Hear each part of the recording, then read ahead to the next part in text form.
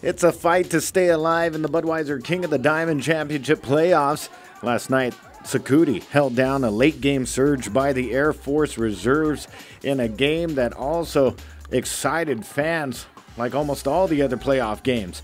We pick it up in the top of the sixth. Sakudi leading 9 4 with Vic Fernandez Sr. on the mound for Sakudi.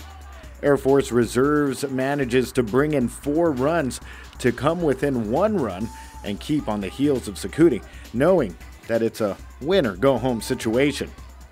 In the bottom of the sixth, the Air Force would try to force a triple play and stay within one run, but Sakudi would squeak by with one run to finish the inning and make it a 10 8 ball game.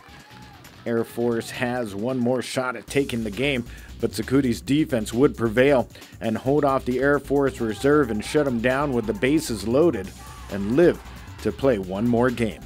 Matt Barcenas got the strike zone player of the game and finished two for three with a double, two runs, and a ribby. I think we did good. We played hard. Everyone battled. We hit the ball. And we freaking scored. So we're good. Just practice hard.